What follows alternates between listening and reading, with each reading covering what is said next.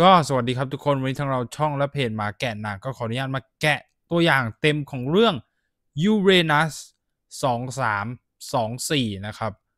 ก็เป็นหนังรักแนวไซไฟที่เป็นหนังไซไฟอวกาศเรื่องแรกของไทยนะครับ ที่จะเป็นเรื่องราวความรักของนักดำน้ำฟรีไดฟ์แล้วก็นักบินอวกาศที่รักกัน แต่ว่ามีอุปสรรคมากมายทำให้พวกเขาไม่ได้อยู่ด้วยกันนะครับ เรื่องนี้จะเป็นการกำกับของคุณเจมส์ธนดลที่เคยทำเรื่อง Latitude ที่ 6 แล้วก็ในตัวอย่างนี้ก็อาจจะมีสปอยถ้าเดาถูกนะครับ ก็เป็นตัวอย่างที่ค่อนข้างเดาอะไรไม่ค่อยได้เท่าไหร่ เพราะว่ามันเป็น Original IP Original IP มันอาจจะเดาอะไรไม่ได้นะครับ ก็เรื่องนี้ก็จะเป็นเรื่องราวของแคทและลินที่น่าจะอยู่ในภาคใต้ของไทย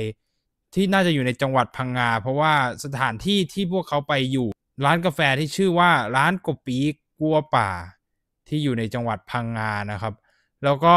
เหมือนกับเป็นการเคลียร์ใจแล้วก็จากลากันก่อนที่ลินจะไปทำภารกิจ ในอวกาศคล้ายๆกับเรื่อง Interstellar ครับ แล้วก็ภารกิจนี้ก็จะเป็นภารกิจร่วมกันของหลายชาติที่เราจะได้เห็นทั้งญี่ปุ่น ไทย แล้วก็อเมริการ่วมมือกันนะครับ แล้วก็อยู่มาวันหนึ่งบนอวกาศ ลินก็หายตัวไปออกจากยาน อันนี้คือเราก็ยังไม่แน่ใจว่ามันเกิดอะไรขึ้นนะครับ แต่ว่าตัวตนของลินเนี่ยหายไป เราจะได้เห็นฉากที่ตัดไปอยู่ในเมืองนิวยอร์กนะครับ ที่เราได้เห็นโปสเตอร์ของเรื่อง Wicked ด้วย ซึ่งอันนี้เรายังไม่แน่ใจว่าอยู่ในจักรวาลไหนนะครับ แต่ว่าคาดว่า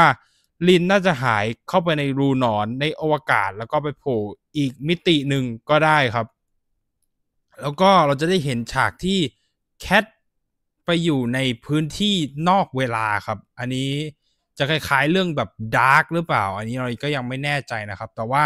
เรื่องนี้ก็คงจะมีการย้อนเวลาพูดถึงด้วย เราได้เห็นฉากที่มี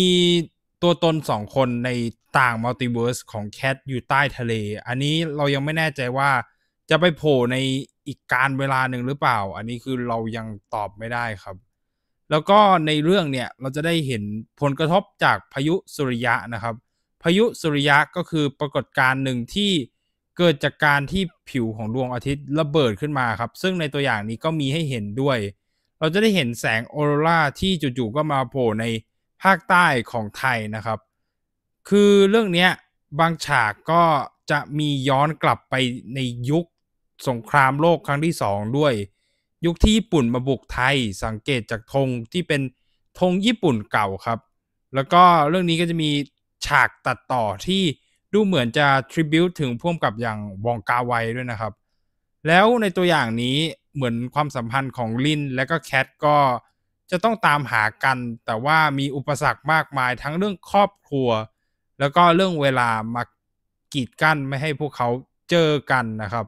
แล้วก็ในตัวอย่างนี้อันนี้ยังตอบไม่ได้จริง ๆ ว่า มันจะเล่ายังไงในบนอวกาศครับ แต่ว่าก็เป็นไปได้ที่มันเป็นการเดินทางลึกเข้าไปในอวกาศแบบในเรื่อง Ad Astra แล้วก็เดินทางเข้าไปในรูหนอนแบบในเรื่อง Interstellar คือสังเกตจากเอฟเฟกในการใช้เนี่ยค่อนข้างคล้ายนะ แต่ว่าต่างสี คือเรื่องราวของลินที่หลุดออกไปในนอกโคจรของสถานีอวกาศเนี่ยก็เป็นไปได้ว่าจะได้แรงบันดาลใจมาจากเรื่อง Gravity นะครับ Gravity ก็เป็นหนังอวกาศที่หญิงสาวคนหนึ่งบนที่อยู่บนอวกาศต้องเอาตัวรอดจากอุกกาบาตทที่มาถล่มสถานีอวกาศโดยบังเอิญนะครับ แล้วก็มีฉากหนึ่งที่เหมือนกับเป็นทฤษฎีรูหนอนที่เชื่อมทะเลเข้ากับอวกาศหรือเปล่า อันนี้ยังไม่แน่ใจนะครับ แล้วก็ความหมายของดาวยูเรนัสก็น่าจะเกี่ยวข้องกับเทพเจ้าแห่งท้องฟ้าอย่างยูเรนัสนะครับ ตามความเชื่อของกรีก แล้วก็หมายเลข 2324 ก็เป็นปีพศที่ดาวยูเรนัสได้ค้นพบครั้งแรกครับ เราจะได้เห็นฉากที่ทิ้งระเบิดในสงครามโลกด้วย แล้วก็ในฉากสุดท้ายของตัวอย่างก็เหมือนจะเป็นอุกกาบาตหรือว่าระเบิดที่มาระเบิดในเมืองนิวยอร์กครับ ก็ ก็ต้องรอดูว่าเรื่องราวจะเป็นตามที่คาดเดาไว้หรือเปล่า แล้วก็